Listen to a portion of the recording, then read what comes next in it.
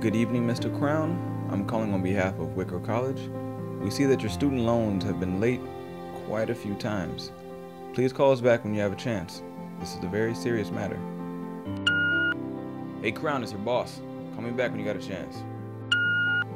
Yo, I ain't seen you in class in a minute. What up, man? Hey, uh, hey, hit me back, dog. Got that test. Man, you know she a bitch. Hit me back. Hi, this is Alan. I'm calling about your light bill. It was due last week and your cable bill was two weeks ago.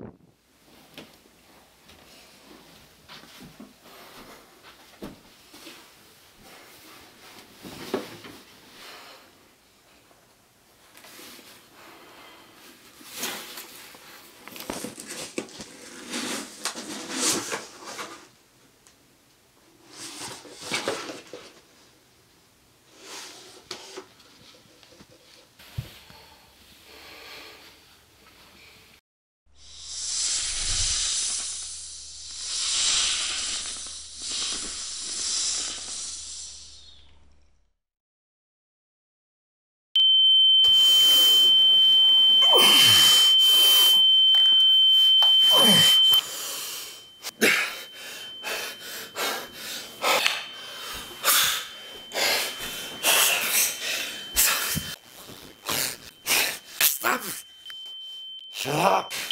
Shut up!